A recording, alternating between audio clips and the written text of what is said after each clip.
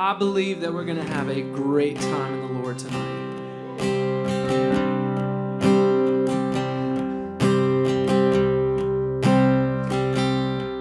There's nothing routine about tonight. It's not just another Saturday night. It's not just plugging away week after week.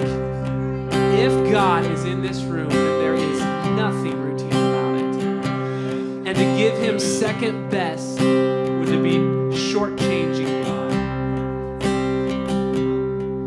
I've been listening to uh, some old recordings of pop preaching about the reverential awe of God, and I don't want to lose that.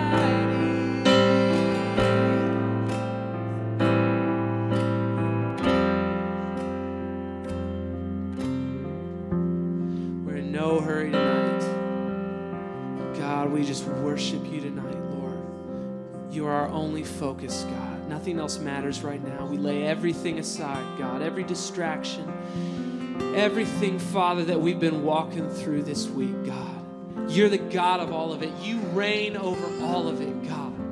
Nothing can stand in the way of our worship of you except for us, God. And we crucify that right now, God. Our focus is on you.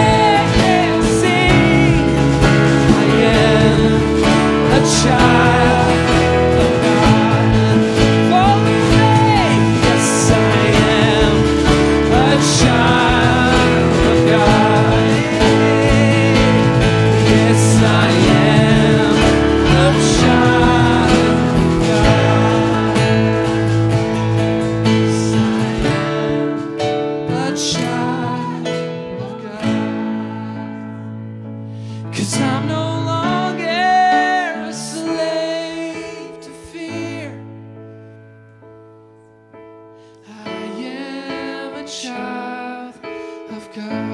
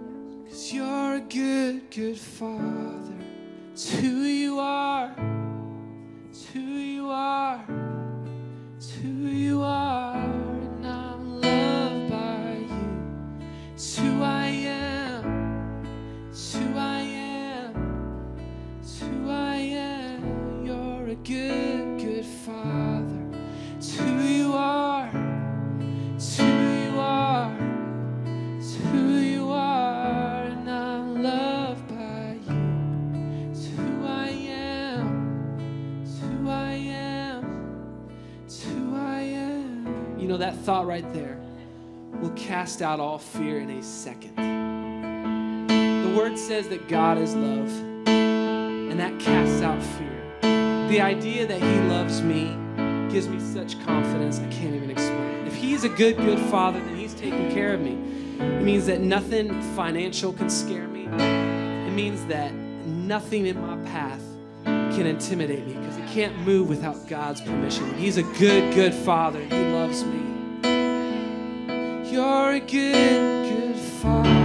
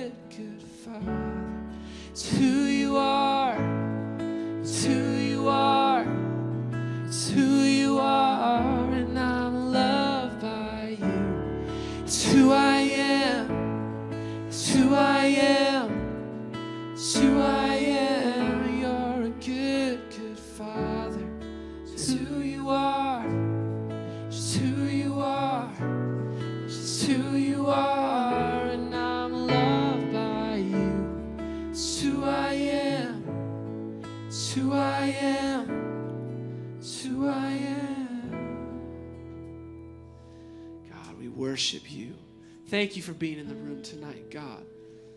Thank you, God, for deeming us, Lord, worthy of your, your attention and your time, God. We worship you in this place, God. We invite you in, Father. We want to hear whatever you have to say tonight, tonight, God. Whatever instruction you have or correction, God. We want to hear it, Father. We're open to you, God. We give this time to you, Lord. We're submitted to you, God, and the word that you have for us tonight. Love you so much, God. Amen.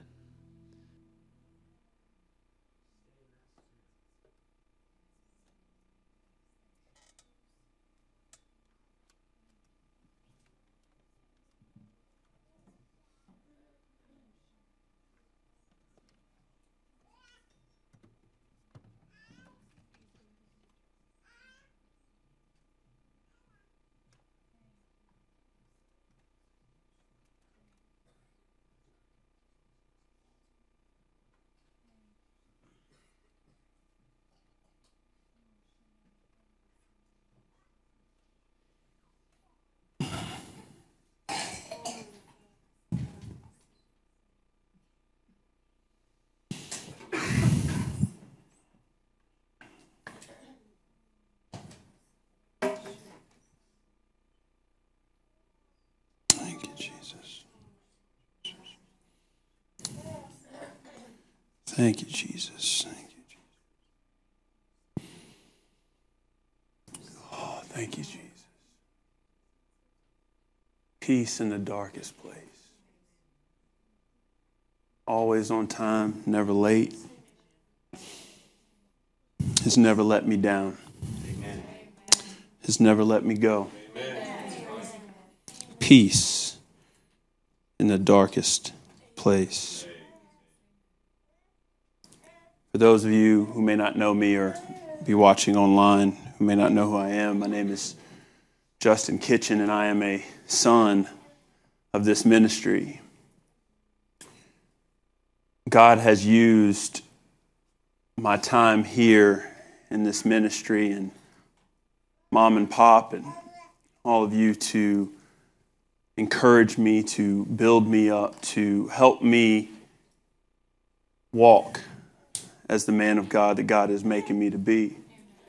And I'm thankful for a father in the Lord, a mother in the Lord, and a family that would hold that standard, that wouldn't allow a young man like myself to slip through the cracks, but to call me to what God has for me not what man has for me, not the influence of earthly things, but the influence of what the Heavenly Father has for my life and what Jesus has for my life.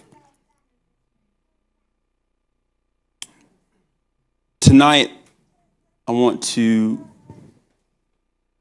preach to you about what God is dealing with my heart about. And it's really a simple thought, it's a simple concept, and that concept is He's always on time.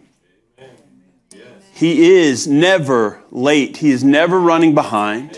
He is always on schedule because it is His schedule to begin with.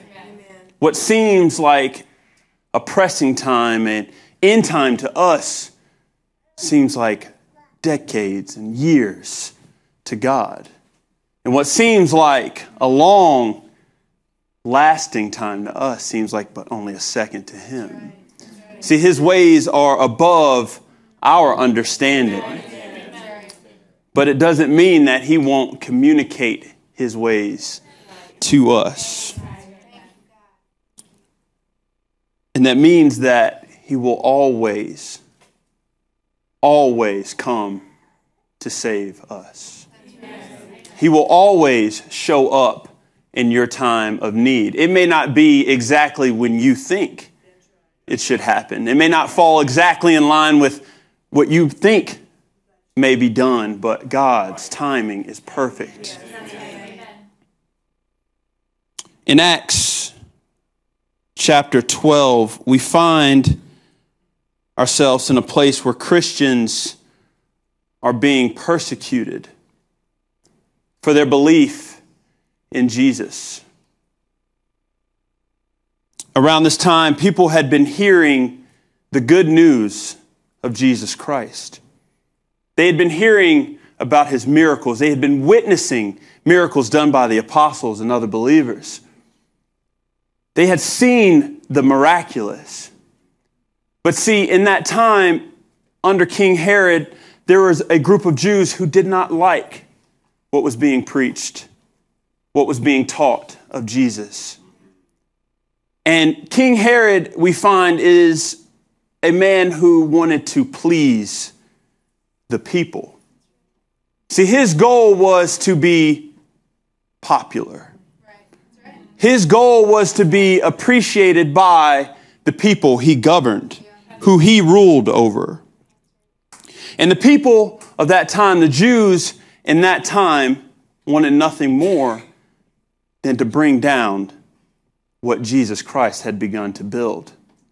They wanted to bring down the church, to persecute the Christians. So, as that was the Jewish agenda at that time, that became King Herod's agenda in his pursuit of popularity.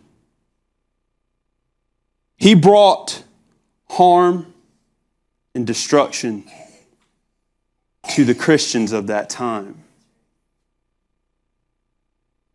And as he began and continued to persecute Christians, his popularity grew. And what started as arresting a few Christians here and there, persecuting them a little bit here and there, eventually, as he thrived and hungered for that popularity and saw that it was pleasing to the Jews, it led him to murder. In chapter 12, verse 2, it says, And he had James, the brother of John, put to death with the sword. I say he was murdered because in this chapter we find nowhere where James was given a proper trial. We find nowhere where he was innocent until proven guilty. He had zero opportunity to defend himself. He had no chance to speak out and to defend his faith. He was murdered. And when Herod saw that it pleased the Jews, he proceeded to have Peter arrested as well. This was during the days of unleavened bread, the Passover week.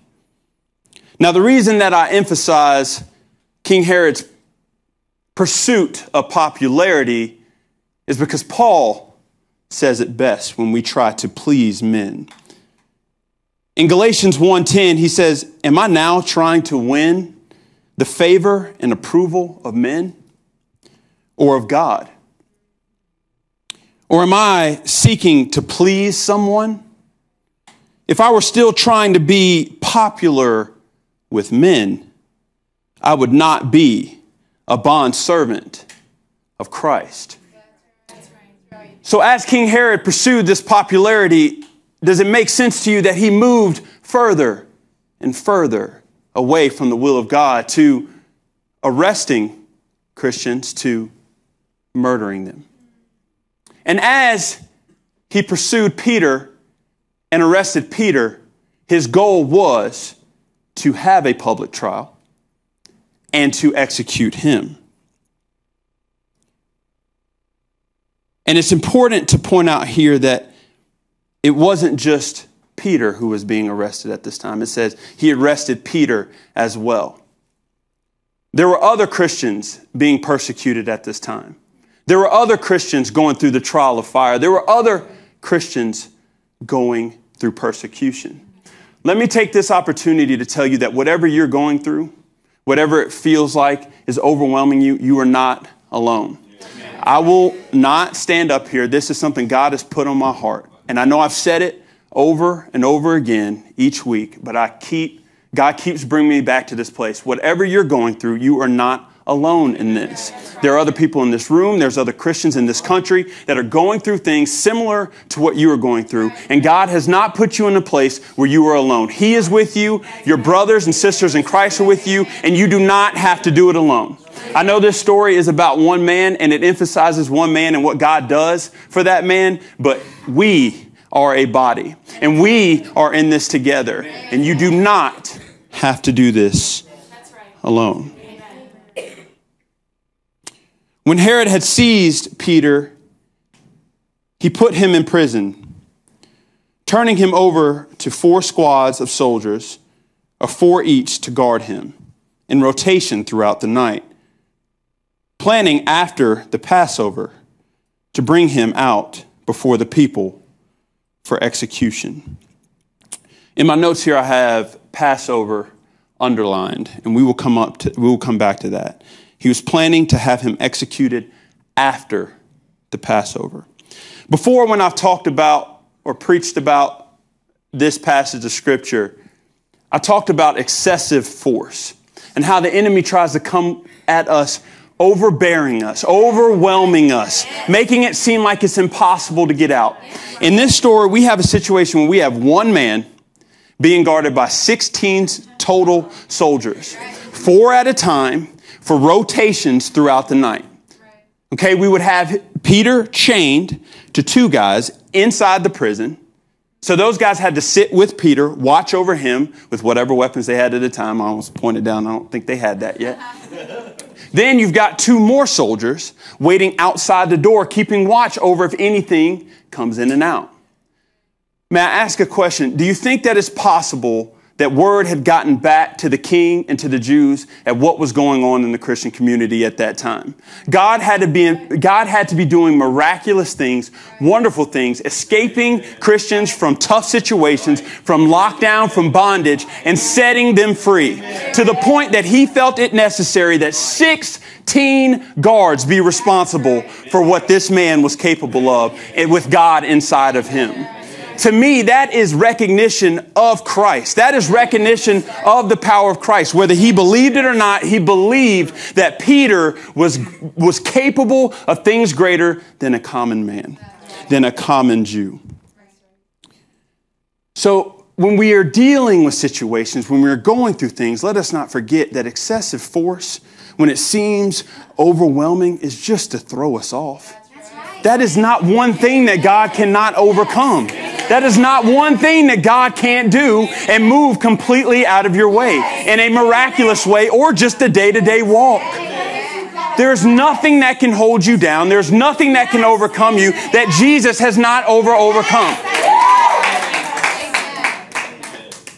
King Herod thought by putting this much pressure on Peter, putting this many men around him, suppressing him to the point that he was chained to two of them, locked in jail, two more men guarding him. King Herod thought that that would keep him in confinement. King Herod does not know the God that we serve. And this is where I want to get to the point I'm trying to make tonight that God is always on time. In verse 5, it says So Peter was kept in prison, but fervent and persistent prayer for him was being made to God by the church. When I read that sentence there, it says, So Peter was kept in prison. That is a statement right there. He was in prison. Then when I see the but, B-U-T, but fervent, per, uh, fervent and persistent prayer for him was being made by the church, that first part before that comma becomes null and void to me. It no longer becomes important. What becomes important is that Peter has men and women of God praying for his situation. This man is about to be on trial. I say trial because all it says is King Herod wanted to bring him before the people to execute him. That is a staged trial. This man is in prison to be killed. That is a important fact that we cannot overlook. However, something bigger was happening. Something bigger than the threat of death, something bigger than the threat of what the enemy can do to you, something bigger than him tearing you down. Prayer was happening. And I mean persistent prayer, unwilling to back down, unwilling to give up, and unwilling to quit. See, this is a time I'm telling you that Christians were being persecuted, arrested for what they believed. And yet, these people, these men and women of God, continued in their faith, they continued in their belief, and they prayed to God for Peter. They stood with Peter. They may not have been in jail with him right then, they may not have spent every second with him, but they, he, they were with him. Regardless of the news, regardless of the report, could you imagine getting report after report? We're getting arrested, thrown in jail, and they put Peter with 16 guys. He ain't getting out of that. It'd be easy to start thinking that way, but they remained steadfast. Things got worse, they pressed on more.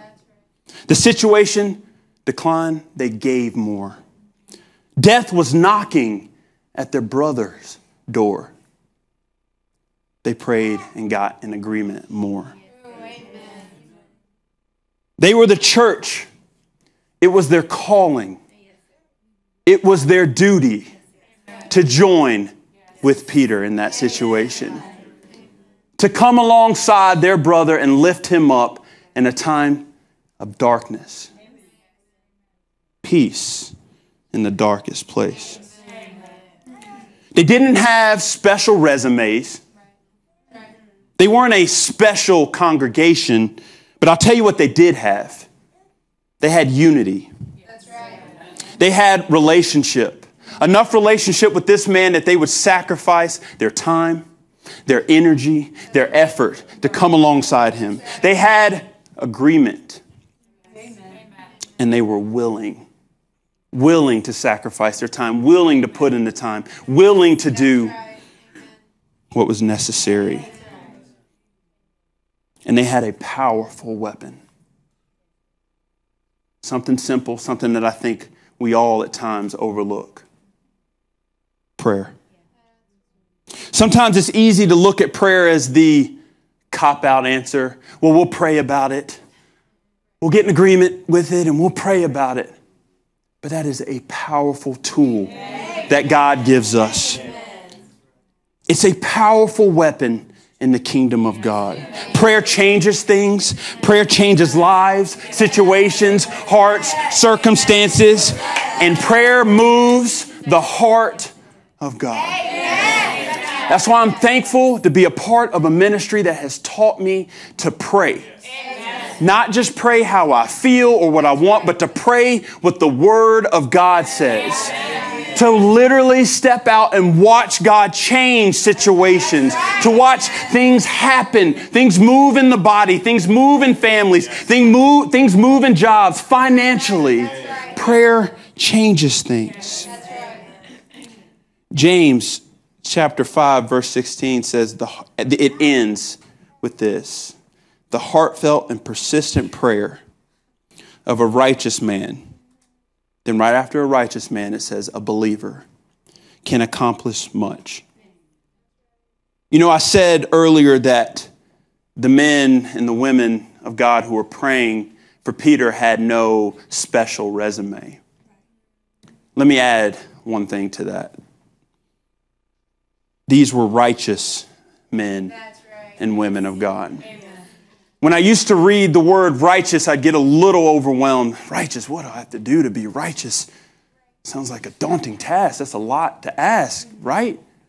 I love that right after it says, the prayer of a righteous man, a believer. Someone who believes in Jesus. Someone does what is necessary to walk out their life in a way that they have faith and belief in Jesus, the one who came, who one who died for us, and the one who rose again, that now sits at the right hand of the Father and intercedes on our behalf. A righteous man or woman, a believer, can accomplish much when put into action and made effective by God. When we pray, God responds. God takes our prayers and He puts them into action. Yes, he does. It is dynamic and can have tremendous power. You want to be powerful? You want to be a powerful instrument for the kingdom? Pray. Pray. And if you don't know how to pray, call one of the men of iron and we'll help you with that. We will come alongside you and say, We were going to learn to pray the word over your situation, over your family situation, over our brothers and sisters in Christ situation, over our Father in the Lord situation. We are going to unite together and move the heart of God because He is always on time. And we have to learn to take what we are learning, what we are being taught, and apply it. We talk about that a lot down here. We have to apply it. That's not going to go away.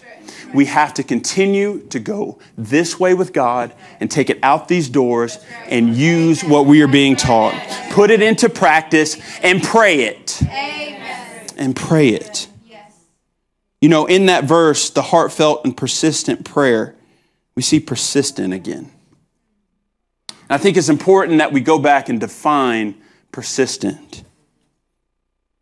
It's an adjective, and it means continually, continuing firmly in a course of action in spite of difficulty or opposition. We are naive if we think the enemy is not going to come against our prayer.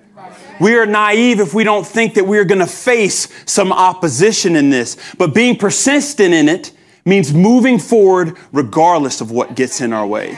Regardless of any persecution, regardless of anything feeling like it's holding us down, we must remain persistent. It also means continuing to endure over a prolonged period. Not just one time standing up and being like, I got this, I prayed tonight, we're good. But consistently praying when it gets tough, when you get tired, when we can't seem to quite muster up the energy. Continuing in that persistent prayer. Now, it's important to also recognize the timing in which Peter had been arrested. I talked about the week of the Passover celebration. And you'll have to follow me on this. I switched it up a little bit in my notes, but just stay with me. If we go back to verse 3, it says, And when he saw, talking about Herod, that it pleased the Jews, he proceeded to have Peter arrested as well. This was during the days of unleavened bread, the Passover week.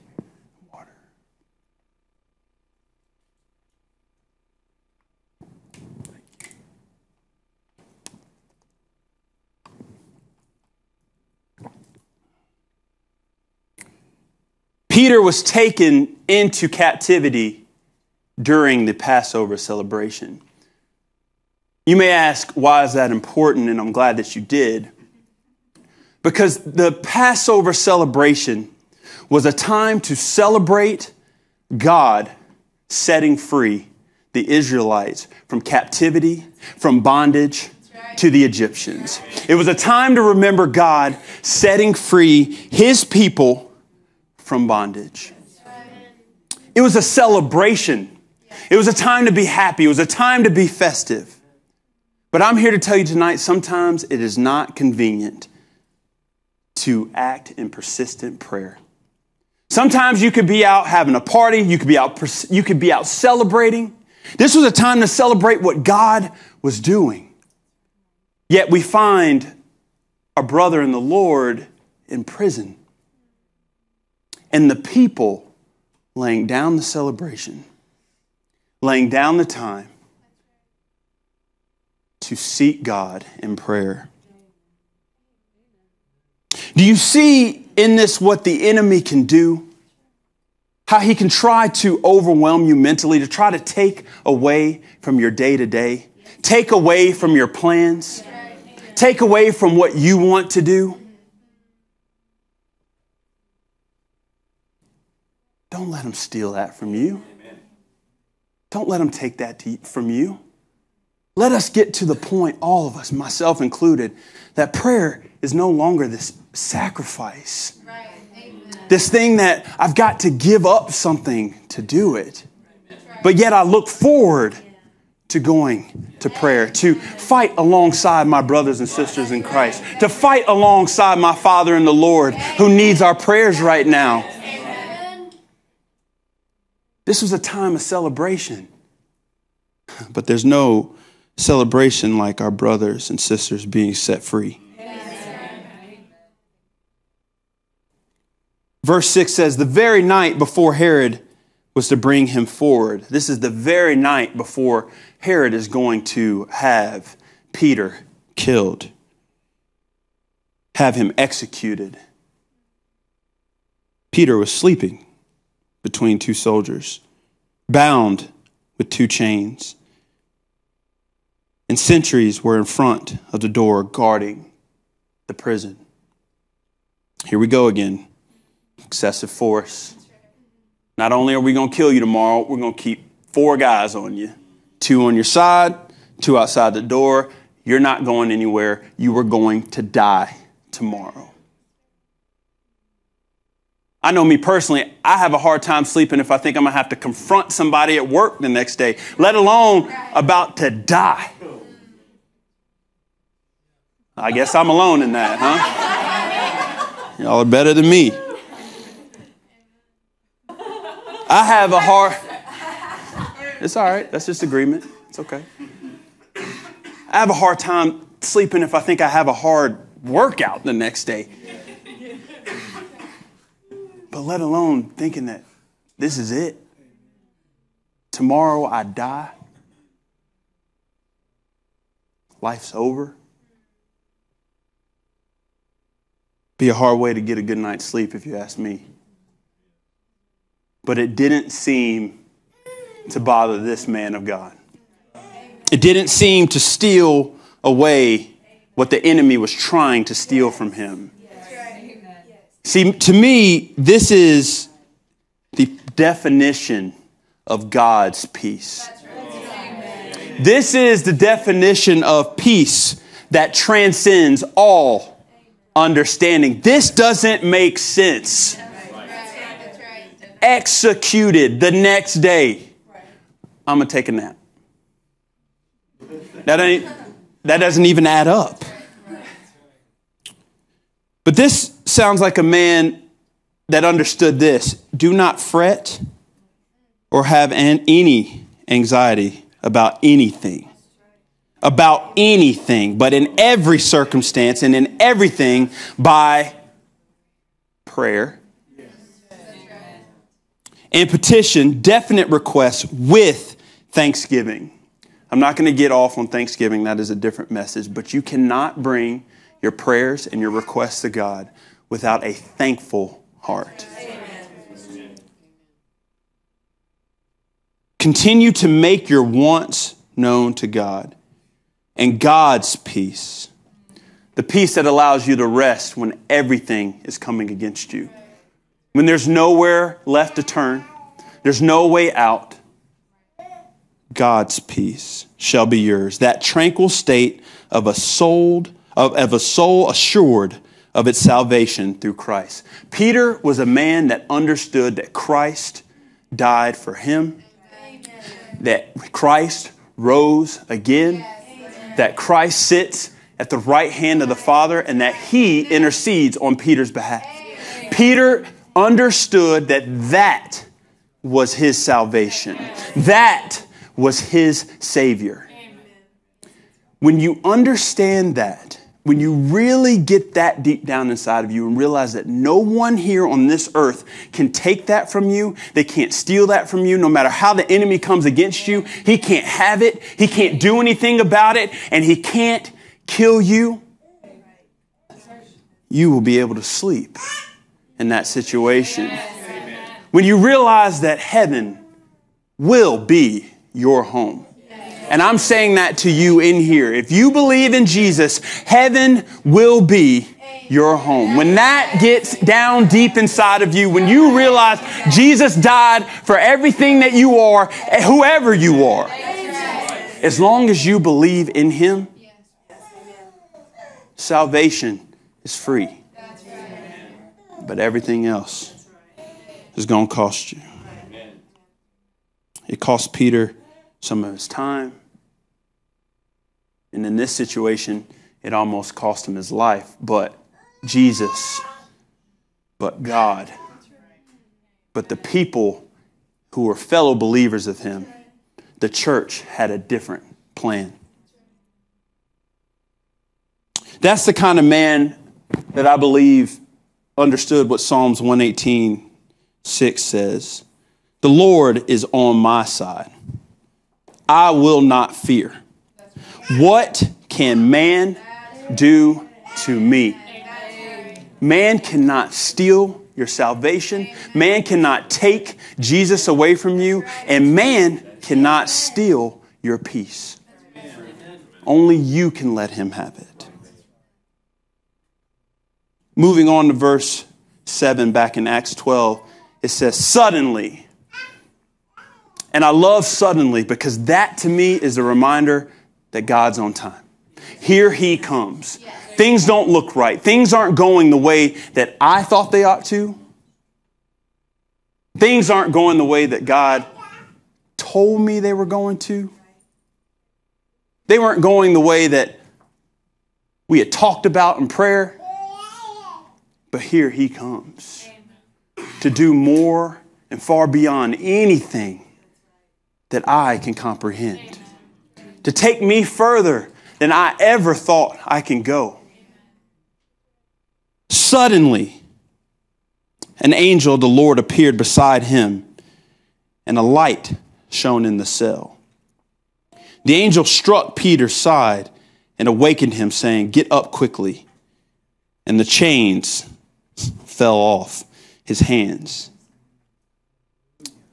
Now, I don't know about y'all, but my wife might be one of the lightest sleepers that I've ever met in my life. Whether it's a peaceful time or a hard time, if something moves, she's going to wake up. She's going to wake up. I'm going to sleep. The ground could shake.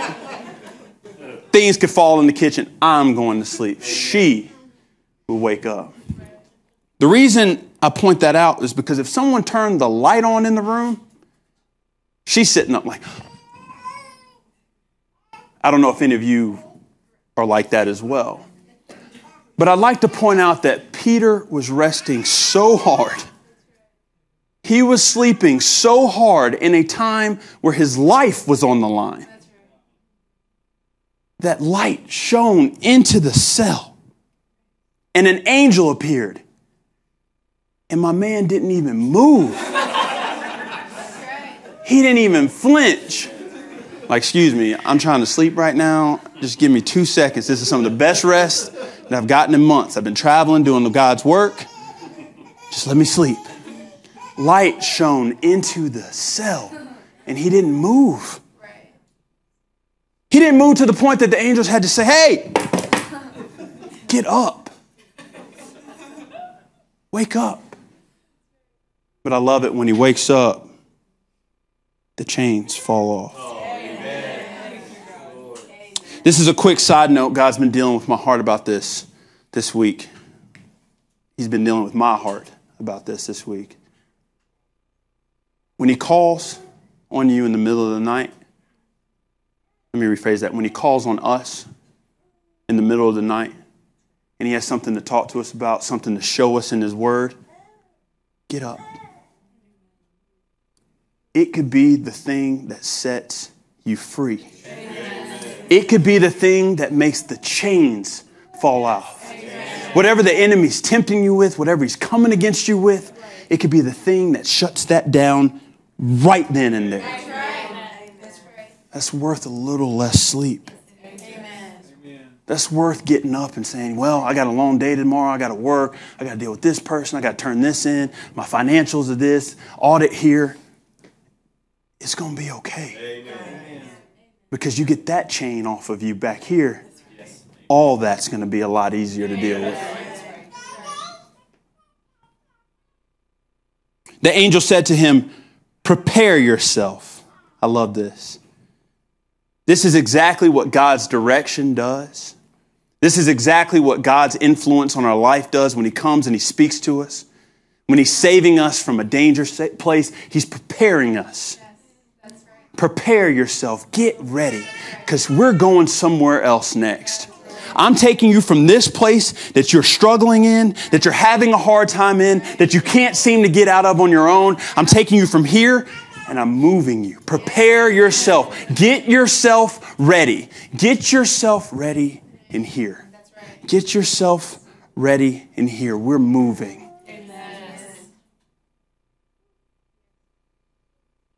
And strap on your sandals to get ready for whatever may happen. It's easy to assume that the angel is there to save Peter. Not only because we know the story, but the angel showed up. That's our that's help. We're about to move out of this place. But the angel says, prepare yourself for whatever may happen next. We don't need to know the exact step by step by step of God's plan and what He wants to do in our lives. And it doesn't have to make sense. It doesn't have to line up the way we think it should line up. All that matters is that it lines up the way that He planned it to line up. Prepare yourself not for what you want to do, not for what how we want to do it, but for the way that God has set before us. To get ready for whatever may be next. May our focus be on what God wants. Always on time, never late to show up, but may we be willing to go with Him when He does. May our heart be just turned towards Him in a way that we were unwilling not to get up to hear what He has to say. And it says, and Peter did so. I'm going to read a little bit of scripture right now. And Peter did so. Then the angel told him, Put on your robe and follow me. And Peter went out following the angel. He did not realize that he was he did not realize that what was being done by the angel was real, but thought he was seeing a vision. When they had passed the first guard and the second, they came to the iron gate that leads into the city. Of its own accord, it swung open for them, and they went out and went along one street. And at once the angel left him. When Peter came to his senses, he said, Now I know for certain that the Lord has sent his angel and has rescued me from the hand of Herod and from all the Jewish, all that the Jewish people were expecting to do to me.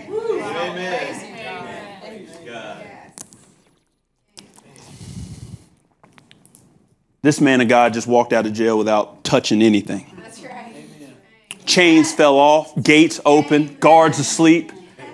All he had to do was just follow. All he had to do was get out of the way and follow. He had to submit to what the angel said and follow. We know that Peter then goes to the house of Mary. And it's easy to focus on what happens there in the sense that he knocks on the door, Rhoda answers it, or no, she doesn't answer it. She hears his voice outside, and she runs back in to all the people who are praying. We're having a big prayer meeting here. Peter's going to be set free. She runs in. Hey, he's outside. He's outside. That's just his angel, girl. You don't know what you're talking about. We're praying. What have I told you about interrupting us when we're praying? She runs. Y'all, y'all don't understand. This man is outside. I told you they weren't perfect. They didn't do everything perfect. They didn't always believe exactly right. But they sacrifice the time to pray for that man of God. And I love, I'm going to close with this. I love what Peter does when he comes in. I got to admit, I would come in hugging y'all like y'all won't believe this. I'm free, and then this and this. But I'll be coming in trying to figure out what's going on, what y'all been doing, what's going on. Peter moved directly into testimony of what God did. He didn't talk about himself. He didn't talk about the situation. He said, God did this and this and this and set me free.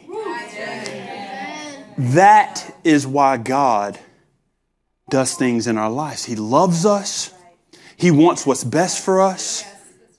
But then we return it to Him by giving testimony to the goodness of His name, giving glory and honor to the greatness of who He is, how He has set us free when I was lost and couldn't be found. When people were praying for me and interceding on my behalf, I needed them so that I could be set free, so that God would move in my life, and so that I can give testimony to who He is. Glory and honor to His name but motioning to them with his hand to be quiet. Hey, I know y'all are excited. I know y'all are excited that I'm here, but listen. He described how the Lord had led him out of prison. And then what did he do? He said, Go out and report these things to James and the brothers and sisters. Then he left and went to another place. He said, Take what I've taught you, take what God just did, take what you've learned here tonight, take the miraculous power of God out and tell somebody. Tell somebody that I am free. Tell somebody that they couldn't hold me down because of your prayer and God's love for me, His willingness to deliver me and set me free. Go tell somebody. Go share it with the world. And the second point, my last, is the continued safety and freedom. Verse 19 says, When Herod had searched for him, him being Peter, and could not find him, he interrogated the guards and commanded that they be led away to execution. Not Peter. Peter had been set free. We serve a God that not only sets us free, but hides us in a safe place. That doesn't leave you stranded. He doesn't set you free so that you can fall back into the same thing, fall back into the same imprisonment, fall back into the same bondage. No. He sets you free to stay free. John 8, 36 says, So if the Son makes you free, then you are unquestionably free. Nobody can take that from you. No one can take you back to the bondage that you used to struggle with, from the place that God saved you from, and put you back into that place. Peter didn't go hide. He didn't say, I'm free, I'm going to go lay low for a while. He went right back and gave testimony to the goodness of God. And because of his willingness to confess what God had done, God continued to keep him safe. He couldn't be found. That thing that was trying to trap him could no longer trap him.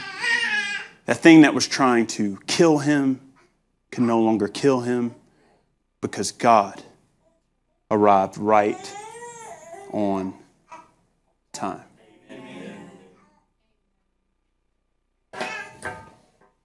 Let me pray for us. God, may our faith be continually growing in you. May our heart for prayer be continually growing in you. Lord, thank you that you hear our prayers, that you respond, that you answer. May our hearts be turned towards you in a way that we never even knew possible, Lord. May we be hungry for who you are, passionate for who you are, God. We thank you for your safety, Lord God. We thank you for your protection. We, may we be a people who unite in prayer to serve you. And may your will be done. Lord, we thank you that you are always on time, that you have never let us down, that you're never late.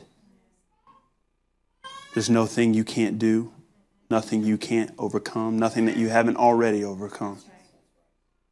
We trust you. And may our lives be lived to honor you, to bring glory and honor to your name, testimony to the goodness of your name, God. May we not be a shy people, but may we be a brave people willing to share what you are doing, God, how you are doing it, and that you're always on time. It is in your name, Jesus, that we pray. Amen.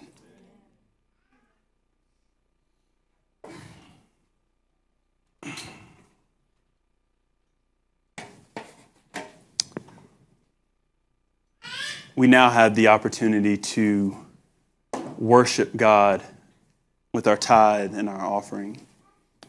And just to take from what I was just preaching, God is always on time. I can't say that enough tonight.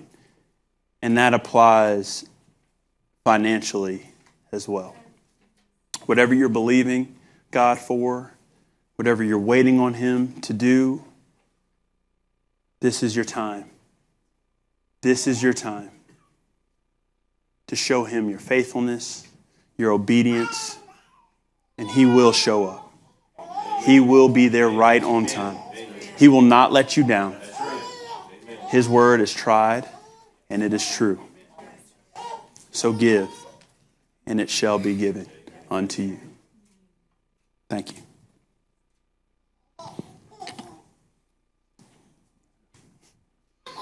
For those of you online, um, if you would like to give, you can go right to the page for giving. It's right there beside where you're watching this broadcast. And make sure you fill out all the information for us, please. We need that to make the transaction go through. We're not going to email you or bother you or um, send you anything or put you on a prayer or an email list.